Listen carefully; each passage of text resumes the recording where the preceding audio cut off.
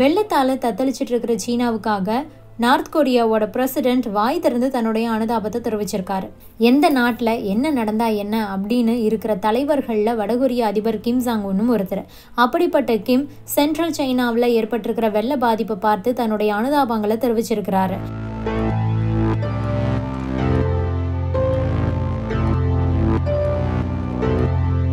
உலக நாடுகளை எல்லாம் கண்டுகொள்ளாத வடகொரியா சீனாவோடு மட்டும் எப்பவுமே ஒரு நட்புறவை கடைபிடிச்சுக்கிட்டே இருக்கிறாங்க.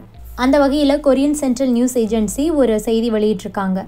மரியாதைக்குரிய கிம்ஜாங் உன் பொதுச் செயலாளர் ஜி ஜின்பிங்கிற்கு ஆழ்ந்த இரங்கல்களையும் வெள்ள சேதத்தால் பாதிக்கப்பட்டிருக்கிறவங்களுக்கும் துயரமடைந்திருக்கக்கூடிய குடும்பங்களுக்கும் ஆழ்ந்த இரங்கல்களையும் தெரிவித்துக் கொள்கிறார் அப்படின்னு சொல்லியிருக்காங்க.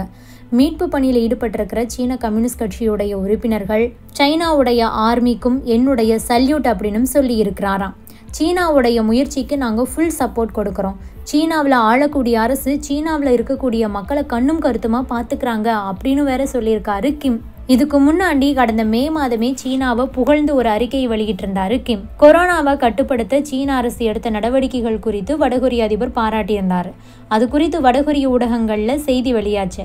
அப்போ அதில் என்ன சொல்லியிருந்தாருன்னா கொரோனா வைரஸ் அப்படிங்கிற பெரும் தொற்றுக்கு எதிரான போர்ல சீனா வெற்றி பெற்றதுக்கு வாழ்த்துக்கள் அப்படின்னு சொல்லி பாராட்டி இருக்கிறாராம் அதுபோக சைனீஸ் கம்யூனிஸ்ட் பார்ட்டியுடைய ஹண்ட்ரட் அனிவர்சரி இந்த மாதத்துடைய தொடக்கத்தில் நடந்தது.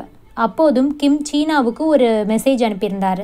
அதில் என்ன சொல்லியிருந்தாருன்னா சீனாவுடைய இந்த ஆண்டு விழா நியூ ஸ்ட்ராட்டஜிக் பாயிண்டாக இருக்கணும். பல வெளிநாட்டு விரோத சக்திகள் சீனாவுக்கு எதிராக செயல்பட்டாலும் கூட சீனாவுக்கு எதிராக அவதூறுகளை பரப்பினாலும் கூட ஆல்ரவுண்ட் ப்ரெஷரையும் சமாளித்து சீனா முன்னேறிக்கிட்டே இருக்கு.